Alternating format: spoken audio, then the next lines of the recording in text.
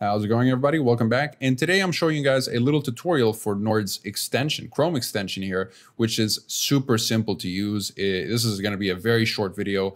Obviously, you're not gonna find all the uh, bells and whistles and, and kind of uh, all these options that you find in the application itself.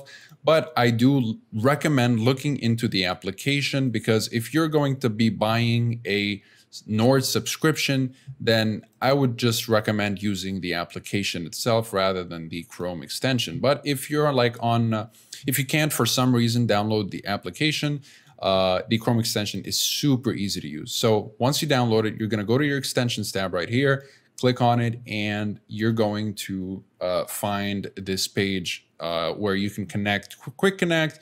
You can search for a country. And uh, yeah, it, it really is as simple as that. So uh, if you go to the settings here, uh, there's nothing complicated about it. You have the block RTC, WebRTC, which will prevent your IP address from leaking. Uh, you have CyberSec, which is an ad blocker, an ad and malware blocker.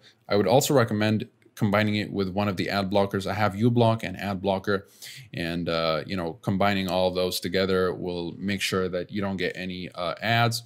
Another thing is bypass list, which is kind of like split tunneling, except it only lets you choose which websites you'd like to bypass. So let's say I want to use the Chrome extension, but I want YouTube to not get affected by the uh, VPN, by NordVPN's uh, kind of tunneling here.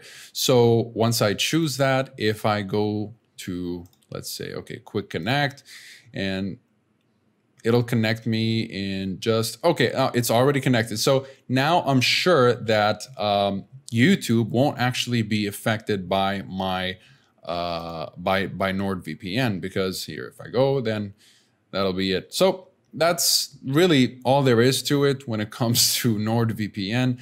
Uh, Personally, I'm not a big fan of Chrome extensions. I mean, if I'm going to purchase a NordVPN subscription, then I'd rather just use the uh, application itself.